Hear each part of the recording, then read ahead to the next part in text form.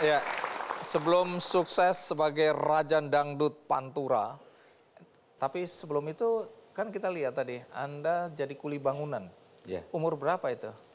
Bangunan umur kita dua, 20 21-an. Ini sudah menikah atau belum? Sudah, Punya anak atau belum? udah. Itu pendapatannya berapa tuh sebagai kuli bangunan itu?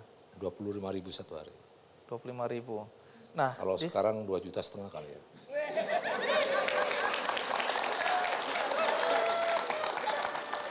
sebulan. Sebulan.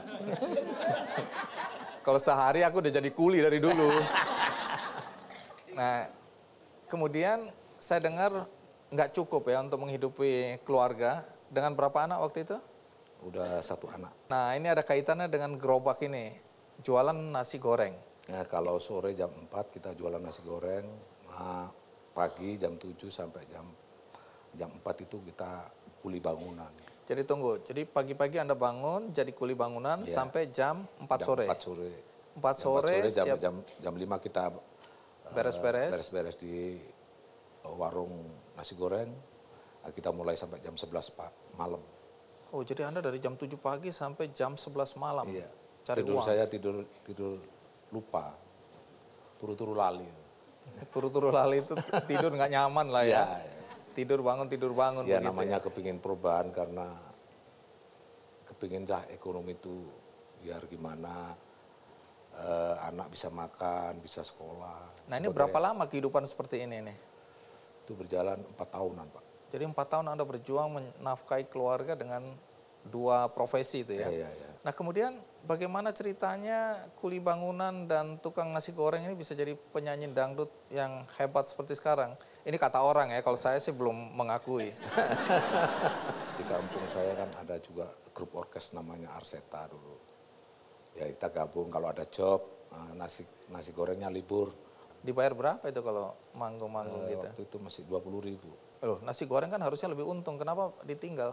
Eh, kita memang nggak tahu ya kata hati memang seniman itu. Oh sudah ada panggilan untuk jadi penyanyi. Oke, jadi nasi goreng ini hanya untuk bertahan hidup, bukan panggilan ya. Bukan. Oke, kan harusnya jadi chef sekarang, bukan jadi penyanyi.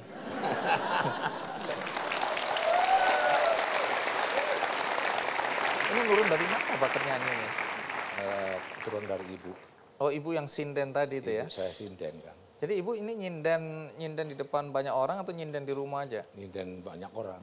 Oh, jadi naik panggung juga. Nah, Oh, dari situ Anda mungkin tertarik untuk wah mau terkenal seperti ibunya gitu ya. ya begitulah. Nah, sekarang saya mau tanya soal cobaan hidup.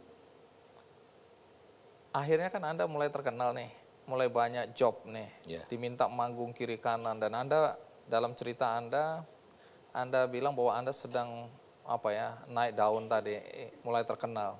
Tiba-tiba istri kena stroke. Bisa cerita apa yang terjadi? Eh, di tahun 2000, 2002 istri, istri saya eh, stroke, stroke bukan stroke biasa, stroke saraf. Jadi dia itu lupa ingatan. Nah, kalau gini satu contoh, nah, nggak sesuai harapan. Nah, gitu. Jadi selama 14 tahun aku ngerawat sama anak-anak itu, Itu anak sudah berapa ya? anak udah empat. Anak empat, tiba-tiba ibunya kena stroke. Ya, anak, anak itu saya yang kecil itu masih stroke umur tiga, seberapa parah? masih tiga tahun umur anak saya kecil. Itu saya merawat sendiri. Kalau di luar saya jadi emas sodet, tapi kalau masuk rumah mbak sodet. saya masak, kan jago koki dulunya, bisa masak, cuci baju semuanya saya. Jadi pekerjaan seorang ibu Anda rangkap waktu itu. Ah, Iya, jadi, Jadi bagaimana kalau- membagi waktu antara menjaga anak, merawat anak, ya tadi masak, cuci baju, tapi ini kan pekerjaan ibu-ibu Anda rangkap. ya, Nah di luar itu bagaimana Anda membagi waktu? Sementara di luar kan job makin banyak. kalau di luar itu yang yang eh, lebih terharu lagi kalau udah pulang merawat istri di rumah, anaknya ada sakit, dulu ada yang aduh itu mungkin ini hadiah mungkin. Ini mungkin eh, hadiah saya mungkin kalau kuat ini saya insya Allah itu aja. Mudah-mudahan kuat saya. Jadi 14 tahun Anda menjalani kehidupan seperti ini. Iya. Akhirnya istri sembuh. Alhamdulillah ya Allah. Istri saya barusan uh, memenuhi panggilan tanggal berapa 20 satu udah satu tahun. Dia udah Oh, jadi akhirnya istri meninggal. Padahal 14 tahun itu tidak bisa melakukan aktivitas. nggak bisa melakukan apa Itu apa? Terbaring sepanjang di hari. kursi roda aja. Nggak bisa ngapa-ngapain lagi. Nggak bisa ngapa-ngapain dia nggak tahu. Ada yang cerita dikit ini ya. Waktu aku udah beli mobil, istri saya tak tak taruh di Bu, waraso bu. Aku setir motor saya. Biar semangat. Waraso bu. Bu, sembuhlah. Aku sudah punya mobil ini. Sembuh bu, aku sudah punya mobil ini. Setelah itu sotik wis. Ayo. Apa gitu.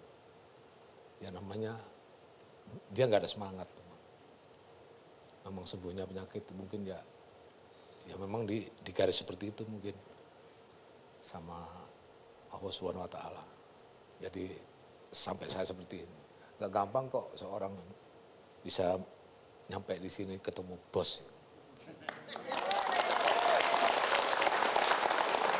Dan untuk mengenang istri katanya Anda mengarang lagu ya. Jangan meninggal dulu istriku. Ya, Masih ingat syairnya nggak? ada. Nah, boleh sepenggal aja apa ya? Ini karangan sendiri ketika istri meninggal ya. Anda menulis lagu Jangan meninggal dulu istriku. Itu waktu itu belum belum belum meninggal masih, Oh, masih hidup. dalam keadaan sakit. Oh istriku sembuhlah dari sakitmu. Oh istriku bangunlah dari tidurmu. Gitu, mas penggal itu aja. Itu kalau terusin nangis.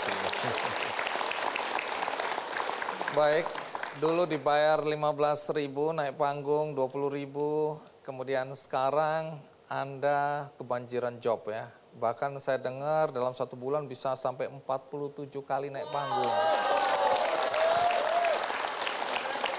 Cuma saya nggak tahu berapa besar bayarannya sekarang ya. Nanti cerita kalau boleh. Boleh, boleh. Gitu ya. Ya sambil ngeliat sepatunya saya. Baik, bagaimana cerita tentang Cak Sodik berikutnya? Kita read sejenak, ikuti terus Kick Andy.